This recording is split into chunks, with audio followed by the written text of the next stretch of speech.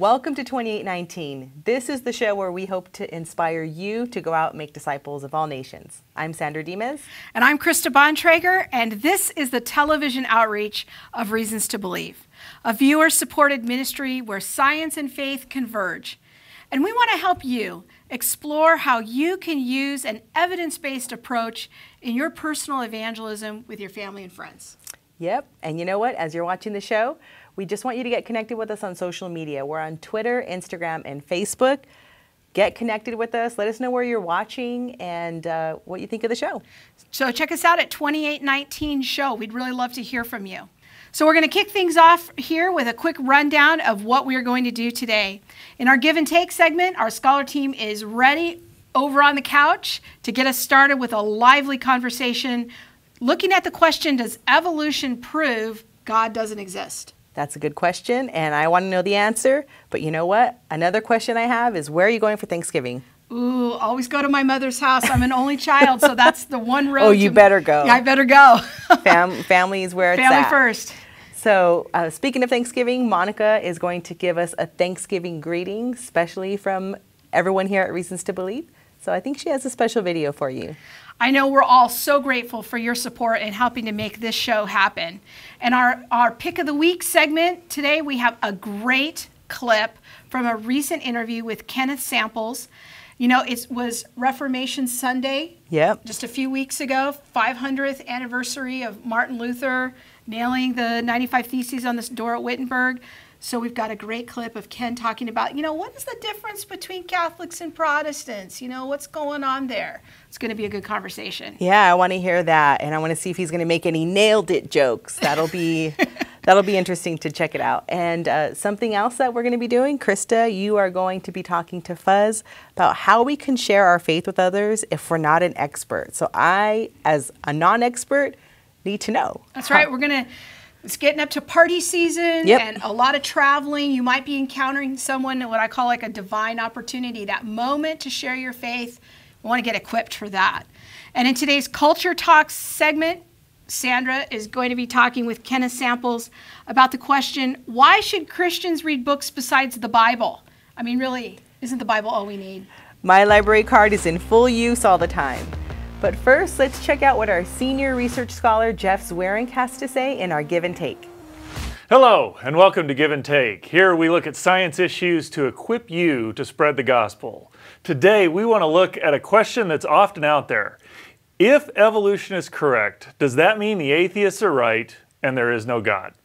Joined today by Fuz and AJ, we're going to dig right in. So, Fuz and AJ, how would you respond to that question? If, if evolution is correct, does that mean atheism's right and God just isn't there? I don't think so. I think that the atheist is still left with something to ground the beginning and all of the processes that they observe in nature and in the universe around them.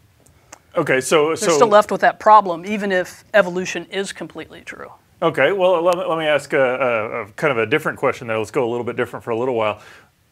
What is evolution, and so what are we talking about when we say evolution? I think it's basically change. Uh, and evolution in science can mean change on many different levels. It can mean it on a micro level, or it can mean it on a macro level.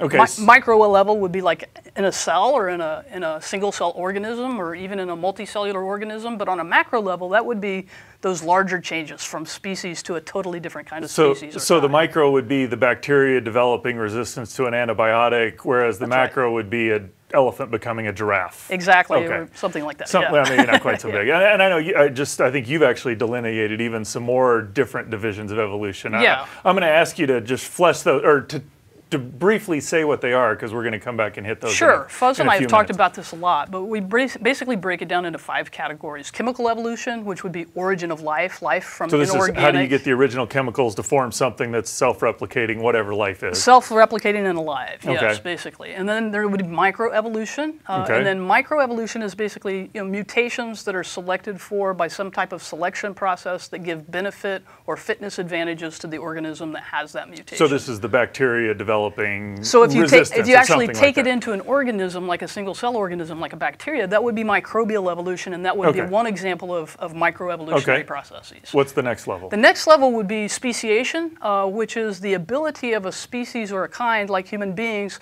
to adapt to different types of environments or environmental, environmental stresses. And for those adaptations to actually push in a particular direction that might even actually lead to something that looks like an isolated group of reproducing, uh, a reproducing population, right? And, and I gather there's a little bit of difficulty discerning species at some level in that. ver- the- vein, There's correct? not just a little bit Little of bit. Okay, difficulty. that's- that's, that's- a, that's a very fuzzy boundary. All right, great. right? That's good to know. So what's what's next? And then the fifth one would be macroevolution, which is basically that that type of speciation uh, uh, adaptability that is built into our genomes and can lead to these types of different populations becoming isolated, that over long periods of time, that actually accounts for the different phyla that we see, large groups of very different kinds of animals. Okay, so this is change on the big scale. I mean, some of it's changed to a very small scale up to a very large scale. That's Is right, what it that's amounts right. to. Okay, so let me ask, uh, you know, kind of the question that I think most everybody wants to know: Does the scientific data force us to accept these kinds of evolution? Well, Fuz, I don't, we'll I don't let's throw it so, to yeah. you. Well, I mean, I would say the answer is no. Um, I mean, you know, clearly um, evolutionary biologists would argue that there's compelling evidence for an evolutionary history to life on Earth. And so this is the macroevolution, everything encompassed in it. Exactly. And they would point to things like shared biological features among organisms, with the argument being that those shared features must be found in the ancestral organism that gave rise to the different lineages. Or they might point to the fossil record and say, look, we see a history of life on Earth where there's different life forms at different times, so hence life evolved. But there are plenty of reasons to, to uh, think that this evolutionary mechanism, in a broad sense, is uh, insufficient to account for the origin, the history, and the design of life. Well, so so what are kind of t- two or three of your best examples? Well, for that are- example, uh, I would point to the origin of life question. That's right. okay, so this is the original chemical evolution. That's exactly right. You know, even um, people that are atheists, that are deeply committed to the evolutionary paradigm, that are actively working on that problem, will readily admit we have no explanation for how life originates. Or you look at an event like the Cambrian explosion, which is the, the first appearance of complex animals on the surface of the Earth. So this would be kind of up at that species level, or even mac- or even phylum, beyond the spe- at the- phylum at level. the okay. phylum right, so this is a big deal. Right. There's just not an explanation for why suddenly, virtually out of nowhere in a geological instant, we see this explosive appearance of all these different uh, animal phyla. So, okay. these are two places where the paradigm at this point in time has no explanation for these events in life's history. So, so would this this is a, a place where it's there's not an adequate explanation. So are you saying, well, okay, obviously God did it here, or what are you saying? No, I, I would say that that, that uh, it means that it's in, um, un- unsustainable to say that life's origin, history, and design can be completely accounted for through evolutionary mechanisms, because these are places where it's clearly clear at this point in time that that's not the case. Okay, so so stated another way, it's not that uh, we can necessarily say where God intervened or not, or but the to say to claim that evolution accounts for everything and therefore God doesn't exist is inadequate because there are these clear places where the mechanism is insufficient at this point. Yes. Not even weighing in on what might we find in the future. That's correct? exactly okay. right, yes. So let me let me throw a, a different question out there. You know, we've talked a little bit about what evolution is, what it can't, or some of the problems with it. I actually like to add something to what Please, yeah. evolution is because you guys have already touched on it in, in Fuz's question and response, but, but evolution can also mean that overarching paradigm, which is really a commitment to naturalistic explanations for the origin and the history and the diversity of life on Earth. So we also have to think about that sixth category, which is sort of overarching all of the other categories, and it's really, it's really a philosophical paradigm. So, okay, so if, if I were to characterize it then, or what, what that sounds like to me is that there's two things. One is there may be process and mechanism that might explain some of this, but there's another level of evolution which says we can explain this all apart from God effectively, is what that means. Yes. Um, is that a is that a legitimate or say, say we find something that explains all the mechanism? Does that mean that God isn't there? I certainly don't think so. Again, you know, I, I think if you if you want to appeal only to the evolutionary mechanism and you want to remain sort of agnostic as to what science will be able to describe in the future and, and even be very optimistic and say someday science can explain it all, it can't ever explain it all. It can't explain sort of the nature of nature or the fact that nature is the way that it is and why there is something rather than nothing. So why it's the makes, why, why are we here? Why does it exist the way it does? why does it make thing. Sense? that's- why can rational creatures make ex- make sense out of it and do experiments on it and actually gain knowledge from it? I mean, all of that needs an explanation too that is outside of the, the capacity of a naturalistic explanation. So, so Fuz, I mean, uh, so how would you, are, are you comfortable with the idea that process can explain everything? Do you think we're going to find the origin of life and the Cambrian explosion? And if we do, would you, would, what, what, what would you wrestle with with that? Well, I mean, I think AJ makes a good point that God could create exclusively through process. But as somebody who's a creationist, I would I argue that God creates not only through process, but also through intervening in a direct personal way.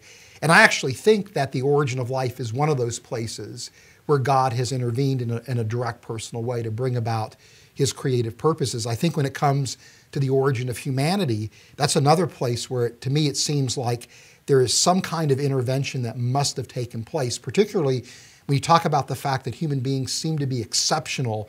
We stand mm. apart from all other creature. There's this quality that we would call the image of God as Christians that, that seems to set human beings apart from all their creature. And, and there's just not an evolutionary mechanism for where that exceptional nature to humanity comes from. From an evangelistic standpoint, how do you see this play out in discussions? Is the God used all process or God intervening? I mean, what have you seen work and not work there? Well, from in my experience, if somebody is deeply committed to the evolutionary paradigm, to say to them that maybe God used process exclusively to bring about his creative purposes, to those kind of people, it just sounds like religious talk. They're not really impacted by that. It doesn't compel them to think or wrestle with right, it, issues. it Okay. doesn't. And so what I find is you, you've got to be disruptive to their paradigm. You've got to go in there and show, look, the origin of life at this point doesn't have an explanation, or the Cambrian explosion doesn't have an explanation, uh, to force them to begin to think that maybe their worldview may be lacking and that there may be something to the Christian perspective. So, last question here, briefly answered, 10 seconds or less. What do you find the most disruptive piece of scientific evidence? To me, it's the origin of life. Origin of life? I would have to agree. The origin of life. The origin of life. So, as we've wrestled here, uh, the idea that evolution explains everything, really, there are problems with that. There are origin of life issues. There's the Cambrian explosion that certainly prevent us from saying that evolution accounts for everything. But even if there is process that God uses, which I think we find in the Genesis account, there's still lots of evidence that point to God's creative work in preparing us. And that is one of the things we can use to go out and disrupt the naturalist worldview and help them consider the claims of the gospel and spread uh, the message of Jesus to them. You know, Sandra, one of the things I love about Reasons to Believe is our scholar team, they're not afraid to tackle the tough questions. Nope, not scared at all, and they've got tough answers for those questions. That's right, and evolution's a tough question. Well, next up, we're going to be watching Ken Samples. He was recently interviewed on Truth Matters. That's a show by our friends over at Ratio Christi. Yep. They were talking about the 500th anniversary of Martin Luther nailing the 95 Theses on the door at Wittenberg. You know, but this really raises the larger question why did the church need a reformation? And, you know, what's the difference between Catholics and Protestants? Very important question. Ken's going to break that down for us right now tell us the two key differences. Well, let's check it out. Uh, what were the major differences between the, the Protestant reformers and the Roman Catholic Church? Yes. Uh, so 500 years ago, today, of course, is 2017. We go back to 1517 in the 16th century. A Luther, who is an Augustinian monk, he is a person who has lots of questions and doubts about whether he can have assurance of his salvation. And he lives at a time in which the church has experienced quite a bit of corruption. I mean, the Roman Catholic Church is attempting to rebuild St. Peter's Cathedral, and they're, they're fundraising, they're involved in collecting money to rebuild the church. And the Reformation centers in the idea of an indulgence that if you give money to the church, then time in purgatory, that is, when a person dies and their state of sanctification doesn't allow them to enter into heaven, they'll go to purgatory where they'll experience some kind of purgation of their sins. Well, this idea uh, struck Luther as very foreign and unbiblical, and he nails his 95 Theses on the Wittenberg church door in Germany, a sign of uh, protest uh, but slowly and gradually, that leads into a greater controversy. And I think it's fair to say that really the Reformation differences between the Roman Catholic Church and what would become the Protestant Church, Martin Luther being the father of the Protestant Reformation, but other reformers coming after him, Zwingli, Knox, Calvin, etc. I think that there are two major issues and uh, a number of other issues that are kind of secondary. Uh, the first question, the first issue is soteriology. How is a Christian saved? And in the Roman Catholic tradition, uh, it comes through the sacraments. Sacramental grace begins at your baptism. As you participate in the sacraments of the church, it brings you to a state of sanctifying grace. So you're saved by grace that comes through the church. Uh, it is through faith, believing in uh, the God of historic Christianity, the person of Jesus Christ, but it's completed by doing works, uh, by doing good works. And so this controversy of grace, faith, and works was one that Luther took issue. Luther said that justification is not um, both an inward transformation uh, and a declaration of righteousness, uh, rather, we're justified, we're saved by grace alone. It comes through faith alone.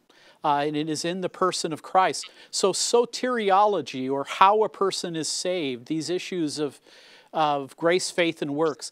The secondary issue, a second issue, certainly isn't secondary, is the question of authority.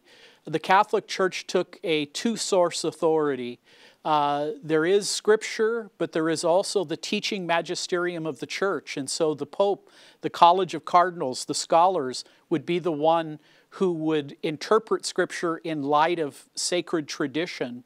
The Protestants, of course, asserted in Latin sola scriptura that scripture is the supreme authority, that scripture judges tradition and all other authorities. Uh, and there are other issues. Who saves me? Is it is it Christ? Is it Mary? Is it the saints?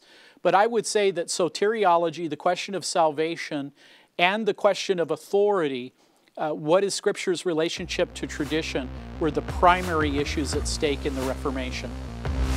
And for more information about our friends at Ratio Christi, I want to encourage you to check them out on the web at ratiochristi.org. And now it's time for RTB 101, and this is the segment where we talk about practical questions to equip our viewers to share their faith with their friends and family more effectively. Today I'm here with RTB's Vice President of Science Apologetics, biochemist, Dr. Fuz Rana. Welcome, Fuz. Hey, Krista. Glad to have you here today. And I want to talk about those, what I like to call divine opportunities those moments that we have that maybe we're going to be at a holiday party coming up, or maybe we're taking a trip, we're on an airplane, and we encounter somebody that we find ourselves in a faith conversation with them. And maybe they're more of an analytical type of person, they're more of a thinker. Maybe they even are a scientist. So let's just kind of imagine a scenario right now. I'm going to pick on your mom, okay? Let's say your mom's on an airplane coming out to visit you, and she finds herself sitting next to a scientist. Should she even try to engage him in a conversation, or is that like not a good oh, idea? Oh no, I think it's a great idea. Because she's not a scientist. Oh, it's a great idea to okay. engage him in a conversation, and and and I think the the first thing that we want to do is is let them know that we are interested in them eh, for who they are. Okay. And so if this is a scientist, I think it's natural to ask them, well, what was it like to become a scientist? How did you go about that process? And what did you study? And you could ask them about their research, you know, what are they working on now? Uh, and, and those kind of questions just to, to, to give them the sense that you care about them and you're interested in them. Those are some fantastic practical questions because I don't know if I would know right away what to ask a scientist. I might just feel a little intimidated and think like, "Ooh, there's a they're a scientist. I don't, you know, maybe I'll take a nap on the airplane." But those are some great yeah. ideas of what I could ask. And then once you get them talking, you can become a little bit more philosophical. What is it that you find fascinating about science? Oh, okay. You know. Um, what really drew you into science? Uh, do you think that when you, you study nature as a scientist that you're discovering beauty? Do you think things are beautiful? Do you think things are remarkable? And almost all scientists are going to say yes to those questions. And then you might even say, well, do you think that God exists as a scientist? And, you know, and if they say no, ask them, well, why not? You know, get them talking, find out what they think and what they what, what they believe about those kind of questions. So really the power of questions is what's driving that conversation. Exactly. So it's not a telling conversation, it's not a debating conversation.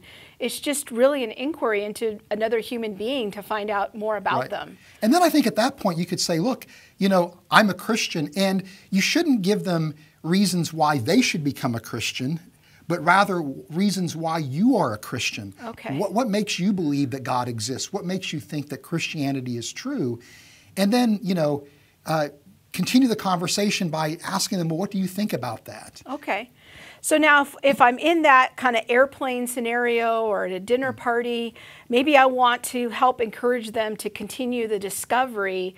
What kinds of resources would I might I yeah. encourage them to check out and maybe what even like do I not want to recommend? Well, you know, the thing that you want to do is is point out the fact that there are uh, men and women of science who are Christians. And so point them to websites that uh, are websites that represent scientists that are working in uh, in faith areas. So, so, they could check out reasons.org. Reasons.org would be a prime example, or recommend a book that they might check out that reflects their interest. Now, it could be that that person might be a biochemist, but maybe they have an interest in cosmology. So, by asking questions, you're going to be able to identify that resource, that book, uh, a video that they might find interesting, and then offer to gift it to them. Those are some great tips, Fuz, and I hope that everyone out there watching us right now, as they're engaged in their holiday parties and their holiday travels, they'll have a little more courage to step into those uh, divine opportunities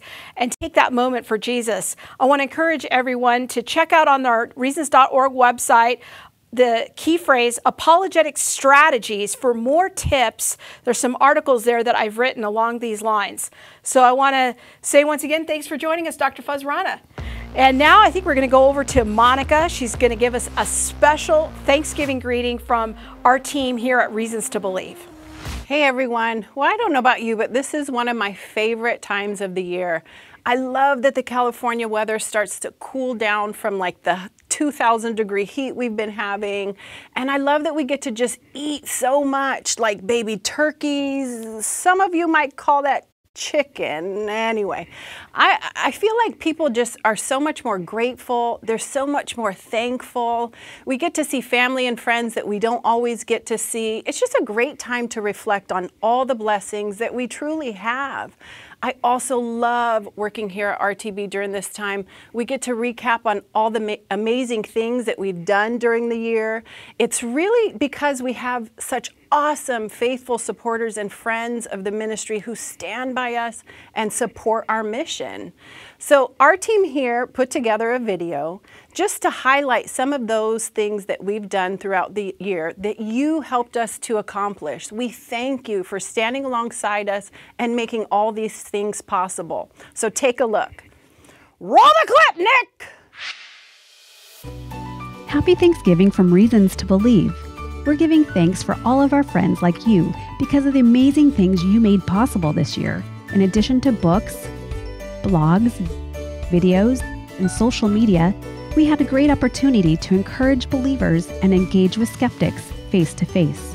Because of you, 670 people were better equipped for evangelism through AMP 2017, as well as the Alaska Cruise Conference and Total Solar Eclipse event that connected and energized nearly 300 people to appreciate the wonder of God's creation and share their faith. Your faithfulness also reached to thousands of people at this year's National Conference on Christian Apologetics as our scholars presented new reasons to believe to curious audiences. Because of you, thousands learned why they can trust in the transcendent God revealed in both nature and the Bible. None of this could have been done without you. We are truly grateful to God and you. From our family to yours, peace and blessings for a happy Thanksgiving.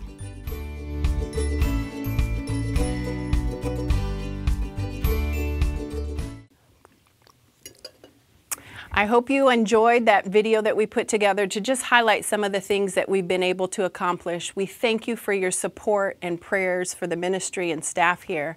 Have a blessed Thanksgiving and holiday. Oh, Monica, she is a, a joy, and uh, you also are joys. So we want to thank you for your support for this year. And today at Culture Talk, we have philosopher and theologian Ken Samples with us, and he's also, Ken, an, an avid book reader. So we're both Yes. fellow bibliophiles. And one That's of the right. things that we love to talk about is our love of books. And a big question that Christians might ask is should we even read books besides the Bible or besides Christian books? So, what is your take on that? Yeah, well, of course, the Bible should be our primary book. We're people of the book, but only human beings read. And I would argue that that endowment called the image of God means that we're able to hunt and gather truth. So, reading mm. other books, discovering truth, is, I think, a, a wonderful part of being made in the image of God.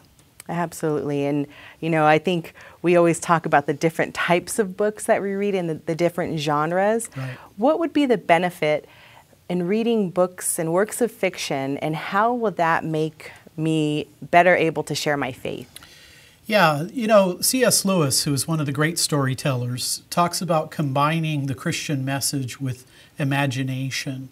And when we can read books of fiction, when we can read books in literature, uh, these are this give us a lot of opportunities to co-join Christian truths with other ideas. So reading gives us ideas. It helps us to understand what people out there believe, how we can relate our faith to where people are in terms of worldview ideas. So I think reading is the natural thing for a Christian, and it can only help us be more successful in sharing our faith. Very good. So then would you recommend some of the books that we might pick up would be of different faiths and would you would you recommend that that we pick up books of, of different beliefs and different philosophies even? Of course, we have to be discerning and reflective. We always have to be uh, on guard because the Bible talks about false beliefs. But I've written a book where I talk about the Christian faith, looking at Buddhism, looking at Hinduism, Confucianism. I think a Christian today needs to be familiar with the great world religions and be able to compare and contrast their faith with those religions. Something that you shared with me was it kind of like this bracket of Christian classics. yeah. yeah. I was pretty fascinated by it and disappointed that as an avid reader I hadn't read many of those books. But I have you read all of those books? I haven't read all of them. I've read many of them. And it slows down when you read a classic book, it slows your reading down because there's so much there. I mean, Mortimer Adler, one of the great uh, advocates of reading great books, says a great book is a book you can never exhaust. You never get to the end of it. So that's a whole list of books that was in uh, the 64 greatest Christian books. And what was the top book? Well, I have to confess, I wasn't surprised. It was St. Augustine's book Confessions, which I've read twice a year for the last 25 years. So it's a wonderful Twice a book. year. Yeah. Okay. Great book. So, are there any other authors that you would recommend besides Augustine? Yeah. Anyone else you would recommend? Well, I think uh, C.S. Lewis, Francis Schaeffer do a very good job looking at culture and ideas. I think Tim Keller is very good mm-hmm. today at looking him. at cultural ideas. So, but you can never be disappointed by reading some of the standard classic Christian books that have stood the, the test of time, and, and the Confessions would be right at the top. And what about non Christian authors? Are there any that you would recommend as giving a fair representation of their perspective? I think there are a good number of them. There are people out there that I, I would always read somebody who I think is fair minded, who's careful, who looks at both sides.